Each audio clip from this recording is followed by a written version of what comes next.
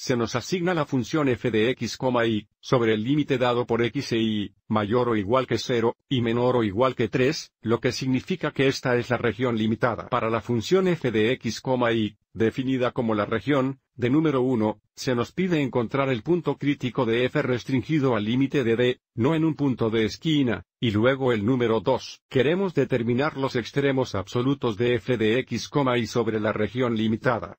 Para responder ambas preguntas, pasaremos por el proceso de encontrar los extremos absolutos de una función de dos variables en una región limitada. En este proceso, podremos responder al número 1. Paso 1. Encontramos los puntos críticos que se encuentran en la región limitada y determinamos los valores de la función en estos puntos. Los puntos críticos ocurren donde los parciales de primer orden son iguales a cero o donde no están definidos lo que significa que comenzamos determinando las derivadas parciales de primer orden. Defina el parcial de f con respecto a x. Diferenciamos f de x, y con respecto a x, tratando la variable, y, como una constante, lo que nos da 2x. Menos 1 por y, o menos y, más 0 menos 3, más 0. Entonces tenemos menos 3. Establecimos esto igual a cero para la primera ecuación, y ahora para encontrar el parcial de f con respecto a y, diferenciamos f con respecto a y, tratando la variable, x, como una constante. Esto nos da 0 menos x veces 1, o x negativo. Más 2y. Menos 0 más 3. Establezca esto igual a cero y resuelva esto como un sistema de ecuaciones. Usemos la eliminación y eliminemos los términos y multiplicando la primera ecuación por 2, y dejando la segunda ecuación igual.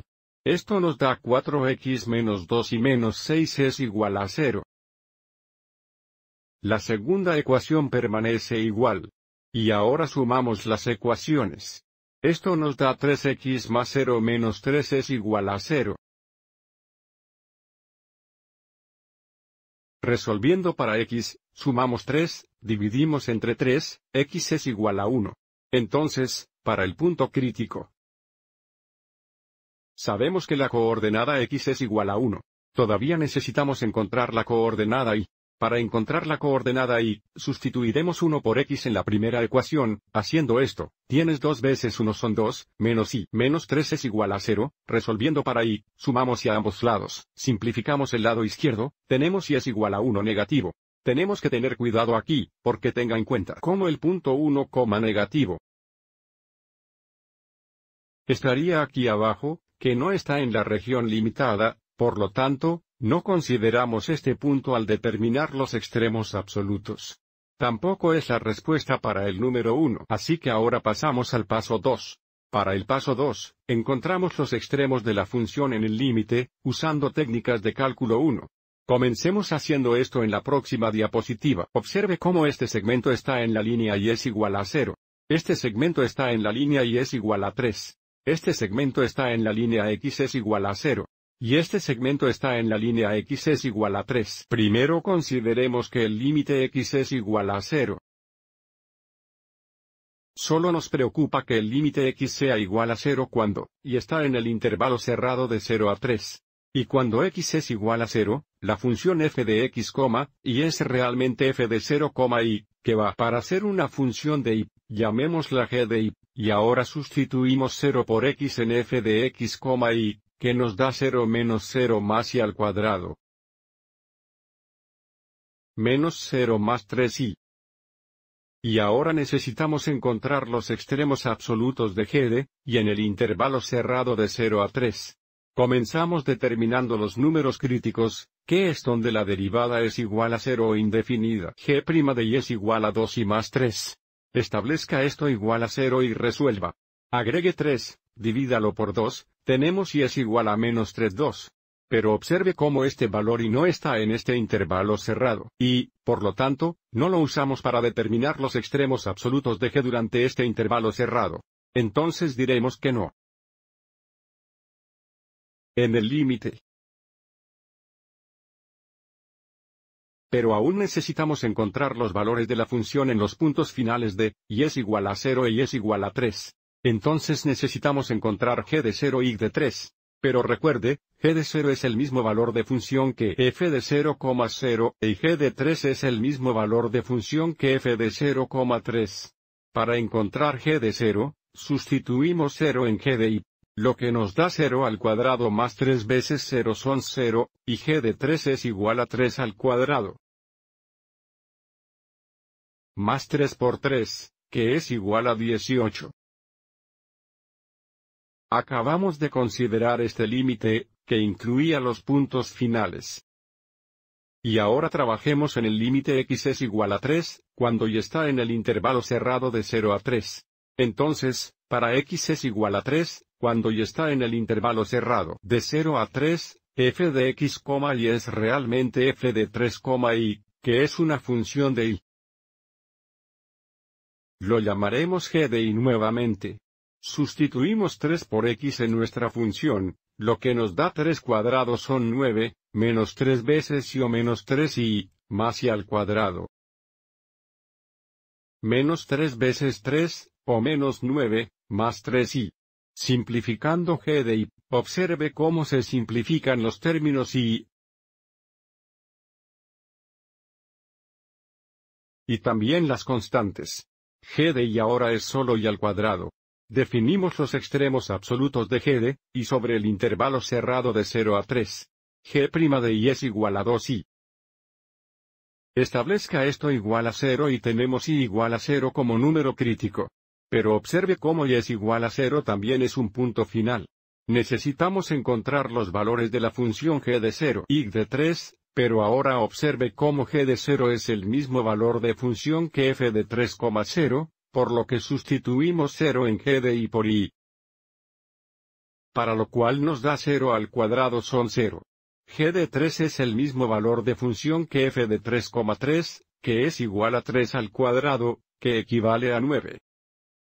Así que ahora encontramos los extremos en este límite, nuevamente incluyendo los puntos finales. Observe cómo ya hemos determinado los valores de la función en los cuatro puntos finales y, por lo tanto, para el límite y es igual a 13 y es igual a 0, solo tenemos que encontrar los valores de la función en los números críticos. Terminemos esto en la próxima diapositiva. Ahora consideremos la función en el límite y es igual a 0.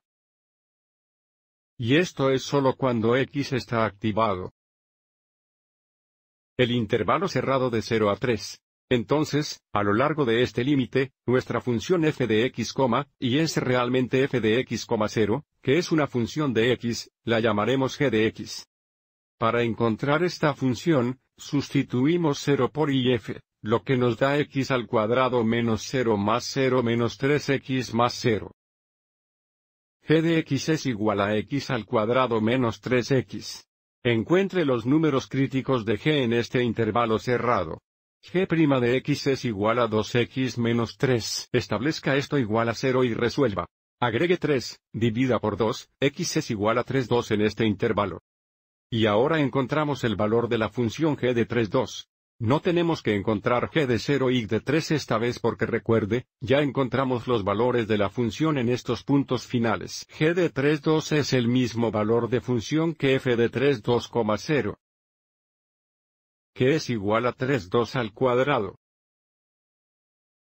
Menos 3 veces 3 2, que es igual a 9 4 menos 9 2, que es igual a menos 9 4.